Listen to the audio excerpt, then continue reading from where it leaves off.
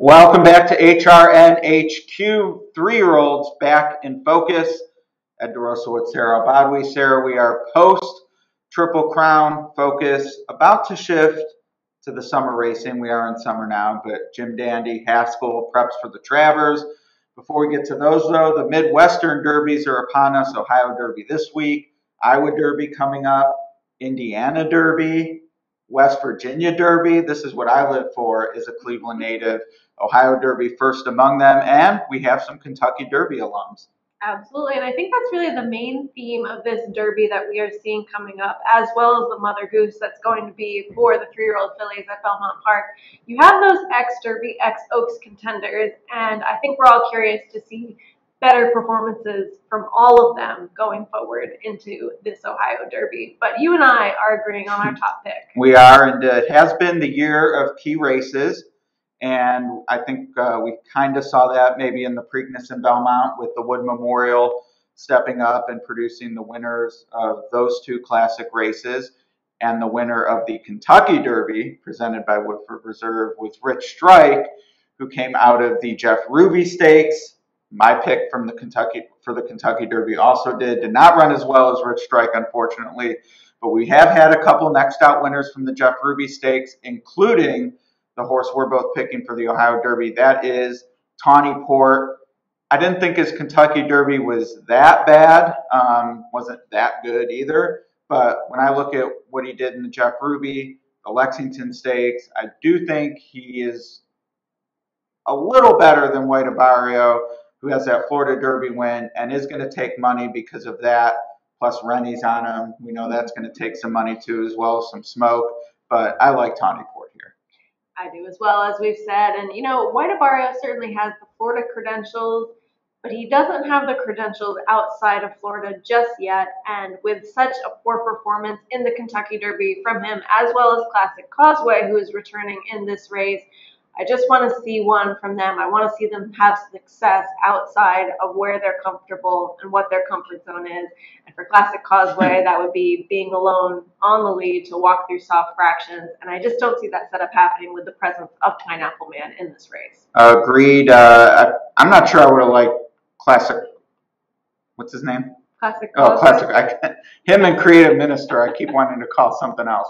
Classic Causeway. Even if he were alone on the lead, I'd salivate with the chance to play against him, just because the speed numbers aren't there for me. But as you said, now the pace dynamics working against him as well.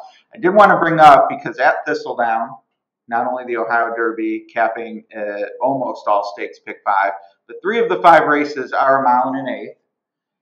And two of those races are part of the cross country pick five as well, which we'll get to in a moment with the Mother Goose. But taking a look at the post positions, and I narrowed this down to eight to ten starters, which three of all three of the races will have that. And uh, pretty surprising, I thought, to see the outside post do so well. Uh, normally, two turn routes definitely shade more to the inside. Post two is Ofer. Not that I wouldn't play post two because of that, but interesting to me that it's not very evenly distributed. Definitely some love to the outside, including positive HR and impact. So it's not like those were favorites out there. So to me, that says even doesn't say to me, oh, bet the outside horses. It says to me it's fair. So that gives me some hope uh, that you know we're going to get a good running of the nine furlong Ohio Derby. The Lady Jacqueline preceding it, also part of the pick five. And I wanted to also bring up my fair odds line, Sara, because I do see this as a two horse race. I have White Abarrio and Tawny Port is by far the likely winners of the Ohio Derby. I agree completely. And not that this is a new opinion for me, but I think that we're both taking a stand against Ethereal Road in here, who I think is a horse that is likely to take some money. Sure. Also being one that came out of that Derby eligible crowd. even though Right. He didn't actually compete, allowing Rich Then one next in. out. One next out. A track that was not playing kindly to horses coming from off the pace or having to go wide at Pimlico. And he bucked both of those track trends that we were seeing on that day with, even though I hate to admit it, a very impressive performance in that start. But can he do it again? He has no early speed to speak of. Yeah, I'm against him. And this race is interesting to me because looking at the morning line, the two horses I think are very likely are less than that. So, you know, are they going to be over bet? if it ends up where White Abarrio's four to one and Tawny Port's nine to five, not saying that's going to happen, but if it did, I would be prepared to switch. I would think White is the better bet in that sense. But from a wagering standpoint, I see a lot of horses who are going to go off a lot less than the chance I give them of winning. I'm willing to lean, I call it the Heinz because it's 57. I just think it's one of those two. Ohio Derby purposes, I'd be looking to make a bigger bet on Tawny Port on his own. I think he's more likely than White Abarrio. But as I work my way through the cross country pick five, if there's a price I like elsewhere, I wouldn't be afraid to use both the chalks here. I like how you're thinking. And is there a price that you're interested in in the Mother Goose? Or No. I was going to say, are you sticking with those ex Kentucky Oaks or ex Kentucky Oaks Day horses? day for sure. And there was a spirited discussion uh, on Twitter Thursday regarding watching replays and the importance or lack thereof, depending on your handicapping style. I am not a replay watcher. I am not against those who use that tool. I think it absolutely has its place. And for those that watch replays, especially, I think you can get a lot more out of it than someone like me that's not my bag. All that said, I remember watching live Juju's map, and I thought, wow, this is a racehorse. Like to me, that was a superlative performance. And I have found when I have those reactions on the extreme that they're often more right. I don't know if that's the right answer, but meaningful. Thank you. Impactful going Sure. forward. And for her, that checked that box. I'm a little concerned numbers wise. She's just right there with the rest. And at that even money morning line, I'm basically taking a very short price that she does have to improve. But off of that, coming to the Mother Goose, I think she will. And if I didn't use her, I feel like I'd have to use a bunch in a short field. I'm willing to plant my flag with her.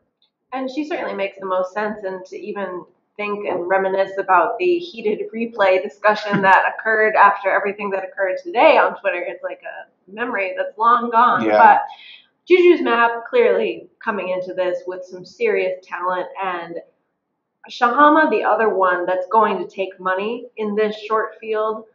I'm kind of against. I'm not Mm. against Juju's map though, uh, but I'm against Shahama just because she totally lacks with early speed, and I want to see her bring that overseas form to the U.S. before I play her at nine to five or Sure. a price that's Whatever even it is, shorter, yeah. whatever it might be. I'll give my girl Venti Valentine one more shot at a track that she has shown to be Yeah, I capable. thought you were going to wear the hat. Oh, that's tomorrow. Oh, okay. it's not race day yet. Got it. Um, but I, I am a huge fan of hers, and I think that maybe she could rebound in this spot after kind of a lackluster performance in the Oaks, as we've seen many in the Oaks and Derby show nothing and come back and show something. Absolutely. No, and I would say at the prices, I would I would play her underneath before Shahama just because those are going to be the short two. And unlike the Ohio Derby, I think a case can be made beyond the top two. For me, there's just really one case. It's Juju's map. She will be a single in my cross country pick five.